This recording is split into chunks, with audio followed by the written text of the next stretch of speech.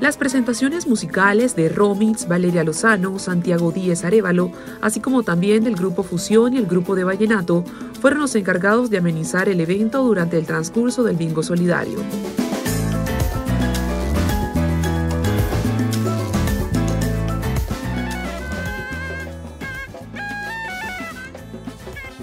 El grupo folclórico de Unimagdalena fue el encargado de engalanar el escenario con una muestra artística representativa de nuestra región.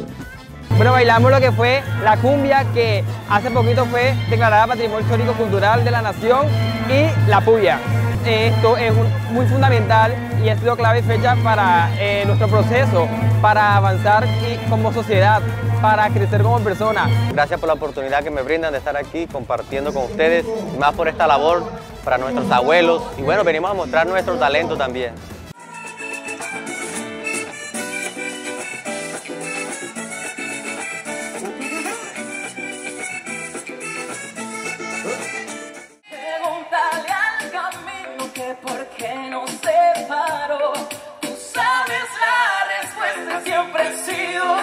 Una muy buena campaña, muy bonita, ya que ayuda a que nuestros abuelitos tengan un mejor futuro puedan tener unas mejores condiciones. La verdad, se lo dio el rector Pablo Vera Salazar. Los invito a todos, a todos, que le den unos abrazos muy fuertes a sus abuelitos con mucho amor. Yo soy Juan Ortiz y me gusta la campaña porque vayamos todos.